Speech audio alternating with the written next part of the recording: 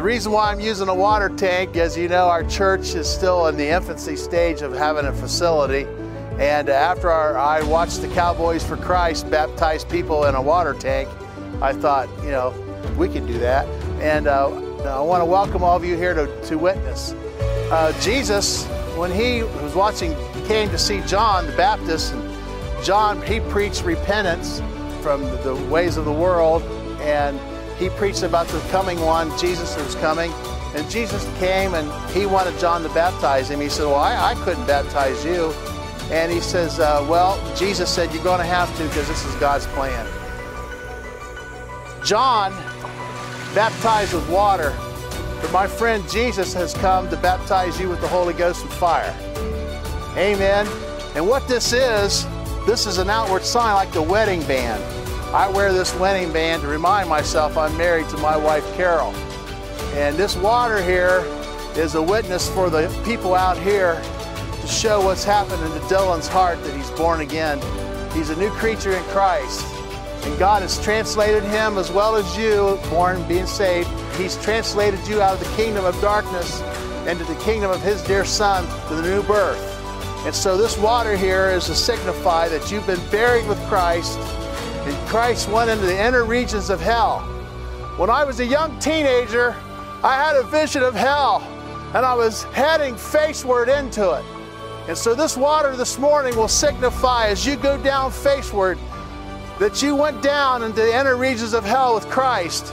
And there Jesus paid the price for your sins and suffered for you.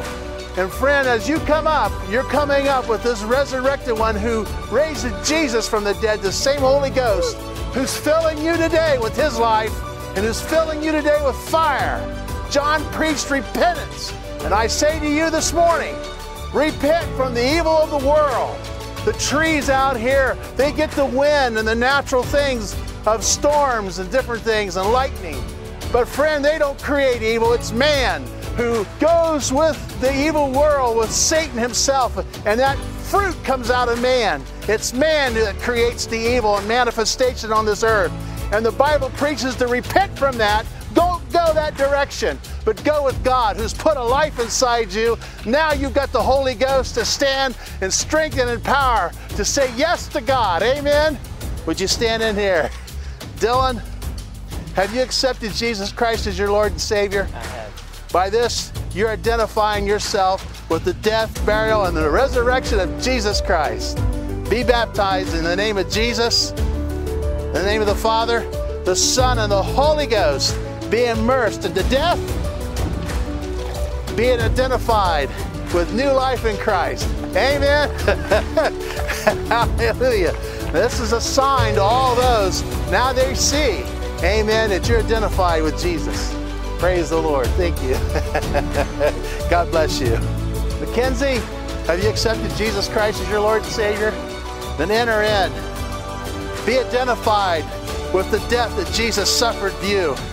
He went down in the inner regions. He went in the inner regions face first for you. Hallelujah. And he came out alive for you. Hallelujah. Amen. Praise the Lord. Hallelujah. Jessica, glory to God. Have you accepted Jesus Christ as your Lord and Savior? Or your Savior Jesus? He went down in that inner region. He suffered three days and three nights. And there was a man who was in hell. And he looked up. He said, Send somebody to tell my five brothers. Oh, don't come here.